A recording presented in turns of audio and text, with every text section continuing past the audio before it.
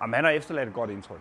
Øh, det synes jeg, han har. Altså, jeg synes, at han har trænet godt i de to gange, han, øh, de to dage, hvor han har trænet herude, og det var også derfor, vi sagde, at vi vil gerne se ham i, i, i 40 minutter i dag, for at se, hvordan det ser ud i kamp. Altså, jeg synes egentlig, at han præsenterer sig fint derude. Øh, han øh, arbejder hårdt i forhold til at beskytte bolden, også med ryggen mod mål. Han får mange bolde op på kroppen, hvor, hvor han bliver presset i ryggen. Det gør han rigtig fint.